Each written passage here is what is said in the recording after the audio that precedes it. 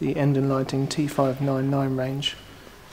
It's different to the T699 range just by the brass and the colour difference. Available as a wall bracket, ceiling fitting, pendant and both hanging.